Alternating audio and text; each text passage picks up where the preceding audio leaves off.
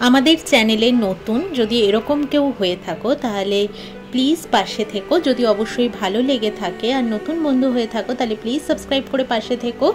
Like share comment করতে কিন্তু কেউ ভুলো না। তোমরা প্লিজ একটু লাইক করো। আমার ভালো লাগে, বিশ্বাস করো, পরের দিনের আরও একটা ব্লগ বানানোর জন্য অনেক অনেক এনার্জি পাই। তাই রোজ একই কথা তোমাদের কাছে বলে থাকি। সুপ্রভাত জানাই পরিবারের সকল সদস্যকে। আশা রাখি তোমরা প্রত্যেকে ভালো আছো, আমরাও ঠিক আছি। আজ শুভ রাখি পূর্ণিমা। আমার সকল দাদা এবং ভাই পৃথিবীর যে যে কোনাতেই আছো না কেন, প্রত্যেককে জানাই রাখি পূর্ণিমার অনেক অনেক ভালোবাসা এবং অনেক অনেক শুভেচ্ছা। এখন বাজে হচ্ছে কটা বাজে? তারাও দেখি। সাতটা বত্রিশ অলরেডি বেজে গেছে। তো একটু পুজোটা দিচ্ছে, দিয়ে নিয়ে ওর চা, ছাতুটা খেতে খেতে ঘরে দুধ নেই, ওই জন্য মুসলিটার হাত থেকে কদিন ধরে বাবু বেঁচে যাচ্ছে তো এখানে ওর টিফিনগুলো সব সাজিয়ে গুছিয়ে আমি রেখে দিয়েছি, যেমনটা রাখি আর কি। এই এখানে। সমস্তটা রেখে দিয়েছি, ও ছাতুটা খাচ্ছে, তারপরে চাটা খেতে খেতে রেডি হবে আর কি। ও হাঁপিয়ে যাই, আজকে মোচা না, তার মধ্যে মোচাটা করতে প্রচণ্ড টাইম লাগার এটা দেখো। পুরো মুখের মধ্যে এটা একেবারে এমন করে উঠেছে গম্বুজের মতো। তো যাই হোক না কেন চলো, আমি আজকে ডাস্টবিনে গাড়ি এসে যদিও কালকেই ড্রাই ওয়ে দুটোই আমি ফেলে এসেছি তাই আজকে কাজ নেই আমার। এই একটা দিকে শুধু বাঁচুয়া ঘামিয়ে গেছে রীতিমতো। প্রচণ্ড গরম, ছটা বাজতে পারে না, দেখছি রোদ উঠে যাচ্ছে। ছটা না? ছটা দশ পনেরো থেকে রোদ উঠে যাচ্ছে, পুরো বাপরে বাপ। আর কিছুদিন আগেই প্রমিকে জ্যাকেট পরে যেতে হচ্ছিল অফিসে, তখন সত্যিই ঠান্ডা লাগতো। আবার কয়েকদিনের মধ্যে রোদ, গরম প্রচণ্ড বাজে ওয়েদার ব্যাঙ্গালোরে বাচ্চা কাচ্চাগুলোর তো সারা মানে সারাক্ষণই আমি দেখছি নাক দিয়ে ঝরেই যাচ্ছে, নাক দিয়ে ঝরেই যাচ্ছে। কি করবে? বড়রাই ওয়েদারটা মাঝে মধ্যে অ্যাবজর্ব করতে তো একটা টাইম লাগে। একটা ওয়েদারকে না ঠিক করে অ্যাবজর্ব করতে করতেই আবার ওয়েদারটা এমন চেঞ্জ হয়ে যায়। এই হচ্ছে এখানকার প্রবলেম একটা। যাই হোক, তো চলো ওকে আগে নিজে ছেড়ে দিয়ে আসি। এখন বাজে বারোটা ছত্রিশ, সবে মাত্র স্নান দান করে এখানে জামা কাপড়গুলোকে মেলে দিলাম, তাই ভাবলাম এখান থেকেই তোমাদের সাথে আবারও কথা শুরু করি। হয়তো ভাবছ না তোমার সকালে কাজ হয়ে যায়, সাড়ে বারোটা বেজে গেছে আজকে। হ্যাঁ তোমাদের সাথে মাঝে কিছু শেয়ারও করিনি, সেই সকালবেলাটা তোমাদের সাথে শেয়ার করেছিলাম আর এখন আবার এলাম। আজকে না মনটা সত্যি ভীষণ খারাপ লাগছে, ভীষণ। রাখি, যদিও এবার হয়তো কলকাতাতে থাকলেও আমি পড়াতে পারতাম না, এখানে থেকেও আমি কাউকেই পড়াতে পারছি না, সেই আর কি। তো, সত্যি ভীষণ খারাপ লাগে। এই রকম দিনগুলোতে খুব খারাপ লাগে মানে ভাই ফোটা রাখি পূর্ণিমা, ছোটবেলার কথাগুলো ভীষণ বেশি মনে পড়ে। তাই মনে হয় শুধু মেয়েদের লাইফটাই চেঞ্জ হয়ে যায় এমনটা না। অনেক ছেলেরাই আছে যারা চাকরি পেয়ে এখানটা কি খুটখুট আওয়াজ হচ্ছে। যারা চাকরি পেয়ে বাইরে আছে, তারাও হয়তো দিদি বা বোনের কাছ থেকে রাখি পড়তে পারছে না। তো ভাইফোঁটা নিতে পারছে না। সত্যি এই দিনগুলোতে না খুব খারাপ লাগে।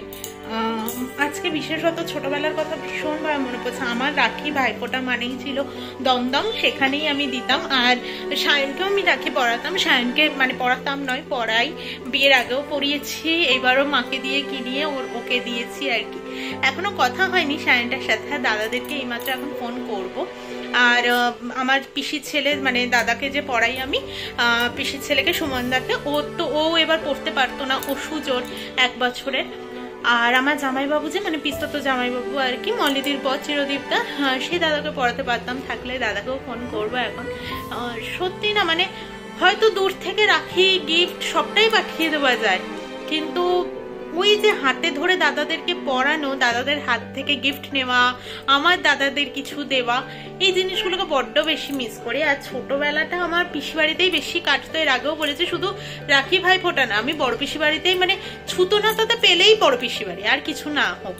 তো পিসিরাও ওই জন্য আমাকে বেশি মিস করে, একটু বড় পিসি বিশেষত ছোট পিসি বাড়ি অনেকটা দূর ছিল তো জাগলিয়া, তো ওই জন্য যাওয়া হতো না, যদিও এখন এগিয়ে এসছে, সোদপুরে চলে এসছে।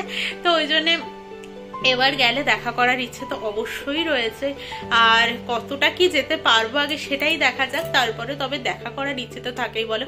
এই দাদা দিদিদের সাথে সম্পর্কগুলো শুধুমাত্র এই সোশ্যাল মিডিয়ার মাধ্যমে থাকে বা ফোনের মাধ্যমে থাকে, এই সম্পর্কগুলোকে যত বেশি অটুট রাখা যায় ভাই বোনদের দাদা দিদিদের দিদি বোনের এই সম্পর্কগুলো কখনোই ভেঙে যাওয়ার নয়, আমার মনে হয় যা।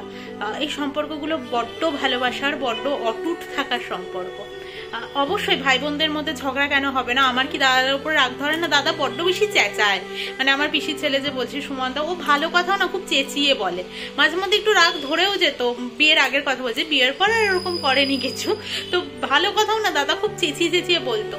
তো খুব রাগ ধরতো মাঝে মধ্যে। ওর, চেঁচাস কেন রে তুই? তো ওই আর কি। তাই জন্য কখনোই দাদার ওপর রাগ করে বসে থাকা হ্যাঁ দাদা এভাবে বলল, দাদা চিৎকার করল আমার ওপরে কখনো এরকমটা মনে হয়নি যে হ্যাঁ দাদার ওপর রাগ পুষে রাখা যায় বা কিছু। আজও চলে এসেছি দুপুরের লাঞ্চ করতে। আজকে করেছিলাম ওই সার্ডিন মাছ বা ম্যাকারেল, এখানে যেটাকে বলে আর কি, আর মোচার ঘন্ট করেছিলাম, বেগুন দিয়ে মাছটাকে করেছিলাম। তো চলো খেয়ে নিই এখন হয়ে গেছে সন্ধেবেলা। আমার বর গোপুকে রাখিটা দিয়েও দিয়েছে। কি সুন্দর লাগছে না গোপুকে? সত্যিই ভালো লাগছে। চলো এবার আমরা একটু বেরোই। আজকে না আমার মন মেজাজ একদমই ভালো লাগছিল না, যেটা তোমাদেরকে স্নান করে উঠে দুপুরবেলা বলছিলাম। তাই জন্য আর সারাদিন আজকে সেরকম ভ্লগ বানাইনি। তো আমার মনটা খারাপ দেখে প্রমিও বলল, চলো একটু তাহলে বেরিয়ে আসি বাইরে থেকে। বেরোনো মানে আমার কাছে বেরোনো মানে কিন্তু মানে সামনে থেকে একটু হেঁটে আসা বা সামনে চায়ের দোকানটা থেকে একটু চা খেয়ে আসা। দুজনে একটু মানে পাঁচ দশ মিনিট এদিক ওদিক হেঁটে আসাটাও কিন্তু আমার কাছে বেরোনো। এমন নয় যে আমাকে দূরে কোথাও যেতে হবে, আমাকে কোনো মলে ঘুরতে যেতে হবে বা কিছু। দুজনের টাইম কাটানোটাই সব থেকে বড় কথা, সেটা হেঁটে হোক কি কিছু। দেখো, রাস্তায় এত জ্যাম থাকে এই টাইমটাতে ওই জন্য আমরা স্কুটি নিয়ে বেরোইনি, আমরা হেঁটেই বেরিয়েছি। যদিও প্রমি একদমই হাঁটতে চায় না, ও ওইটুকু হেঁটেই বলবে, আমার পা ব্যথা করছে, এ করছে, সে করছে, অনেক কিছু বাচ্চাদের মতো বলতে থাকে। তো যাই হোক, আমরা হেঁটেই বেরিয়েছিলাম, কারণ এত জ্যামে গেলে না, ঘোরার মুডটাই চলে যাবে পুরো, আর ইচ্ছেই করবে না। ও দাঁড়িয়ে থাকতে থাকতে যেতে হবে এরকম তো এই টাইমটা জ্যাম হয় বলে আমরা হেঁটেই বেরিয়েছি। যেটা বলছিলাম, তো আমার কাছে মানে অনেক দূরে যেতে হবে স্কুটি নিয়েই বেরোতে হবে, অনেকক্ষণ ধরে ঘুরতে হবে, এমনটা নয়। দুজনে একটু চা খেয়ে আসলেও সামনে থেকে আমার মনে হয় হ্যাঁ বেরিয়েছিলাম তো ভালো লেগেছে। এইরকমই আর কি। ওই দুজনে টাইম কাটিয়েছি, ওটাই সব থেকে বড় কথা। তো ও বলল যে, চলো, আজকে ভালো লাগছে না যখন বেরিয়ে আসি, আর রাতে তোমাকে বানাতে হবে না কিছু পাওভাজি কিনে নিয়ে আসি। তো হ্যাঁ আমরা অনেকদিন পাওভাজি খাইও নি এটাও ঠিক কথা। তো ওই জন্যে মনে হলো যে হ্যাঁ ঠিক আছে, চলো একটু বেরিয়েও আসি, ভালোও লাগবে।